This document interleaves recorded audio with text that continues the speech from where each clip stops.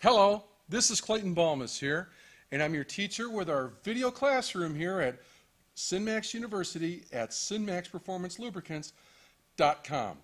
What we're going to discuss here today, as you can see on our screen, is our coolant system presentation focusing on BTU heat transfer and foam uh, performance. Now, and prevention. And what we're doing here today is just kind of to concentrate on the foam prevention. Now, one of the things that we have to look at is this. Say, Clayton, why is this so important and how does it come from? Well, I'll tell you about that. The reason it's so important is because foam, when you have an air bubble, it has 10 times the amount of compressibility of the fluid and it causes problems. If you get, uh, and the reason for this is you're always going to be making air bubbles. You're always going to be making them. They're going to be in your hot spot areas and your other areas. Because we have to remember in an engine, some places are really hot, like in the cylinder head area and the exhaust area, and then the other places are really cool. So you're always going to be having bubbles. So what we got to do is try to uh, have the chemistry eliminate them best as possible. Now, historically, what a lot of people have done is they almost double up on the chemistry of what they have to do. And to simplify this, uh, here at SynMax, we concentrated on, on, on, this and we put the, the exact amount of concentrate into the premix. And then what happened there is that you got a one, you got 7.0 pH balance. You've got the exact amount of concentrate, and you're always going to be going. Now, what we're going going good. Now, what we're going to do here is we've got two products nationally known, uh, the red and the purple, and you say, is that their name? Well, that's their color. So there you go. And uh, so we're going to try this out. So what happens here is that we're, we're going to put in about two cups of water. And then how some people, this, this is about a one ounce. All right, we're going to get kind of kind of good there. All right, pour some in there. Now, why are you doing that, Clayton? That looks a little extra. Well, what happens when you double up on the, on the chemistry? Some people do that. They said, well, one bottle didn't work. Well, golly, let's try two bottles.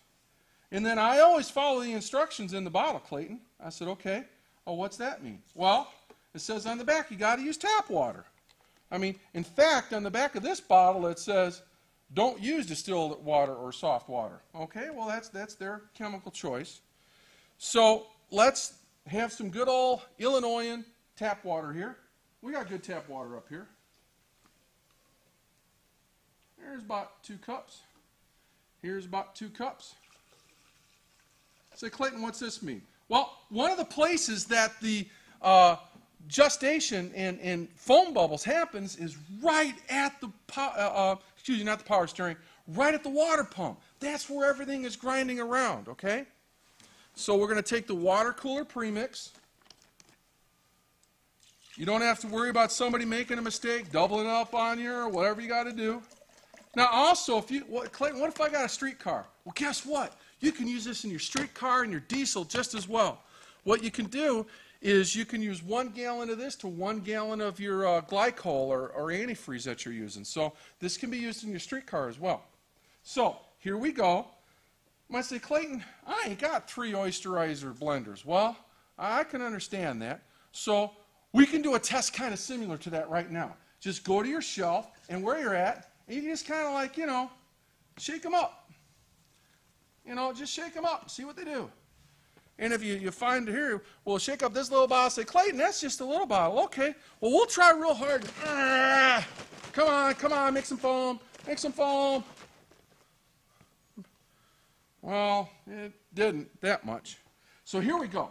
We're going to get these blenders up to uh, whip. Okay, we like whip, all right?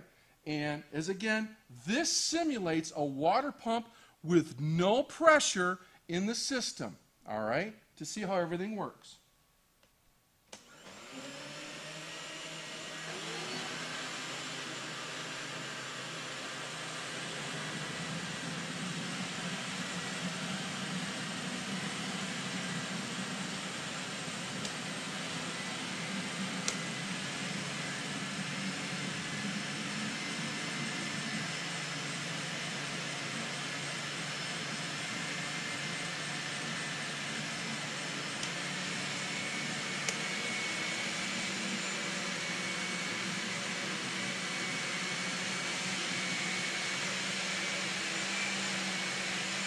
Well, they're doing pretty good here.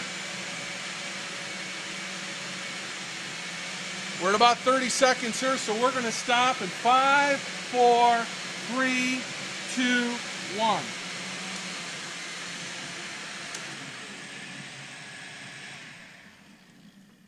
I say, Clayton, that one didn't sound as loud. Well, it was made better about 20 years ago, so it still works good, okay? so what we're going to see here is how the fluid, the actual fluid chemistry, is able to work and disperse the bubbles. Now you can you can just I want I'm going to let the product speak for itself. As again, here is the Water Kooler premix, okay? This is with the exact proper water, proper chemistry, everything that you have to do to it. This here is the pink stuff, okay? And it's, it's working very well, and, it, and it's trying to disperse it. And here is the, well, purple stuff, and, and you can see that it's doing it. Now, as we said, you are guaranteed 100% proper mixture when you use the premix, okay? With the right water and the right everything. So, uh, check out our presentation, and we're going to be talking more about this with our, our coolant system. Uh, we're very serious on wanting to make this work. So, this is Clayton Balmus here at uh, SynMax University at synmaxperformancelubricants.com. I want to thank you, and we're going to see you at our next session. So, bye now.